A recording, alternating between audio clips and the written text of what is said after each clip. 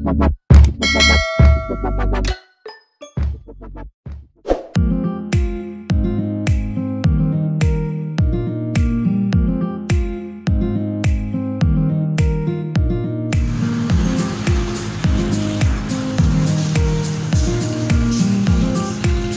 pa natin ng konti guys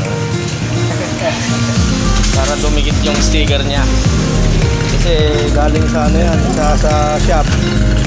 Medyo malangis pa. 250.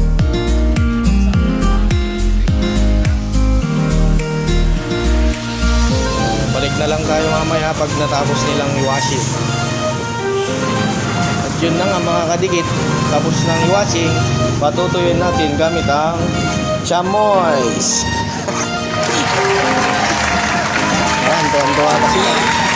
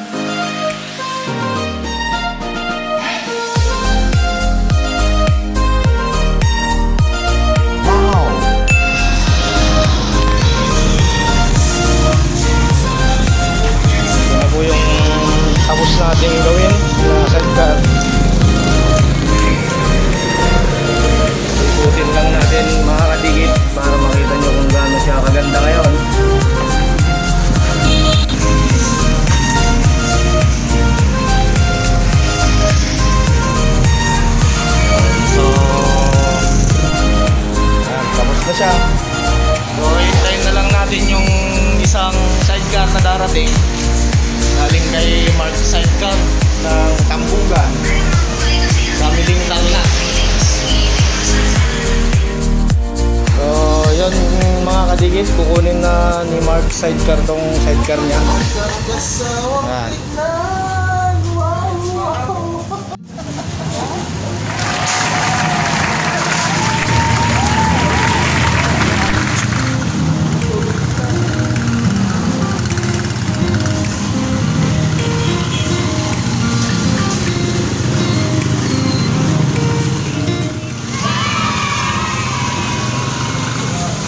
A few moments later.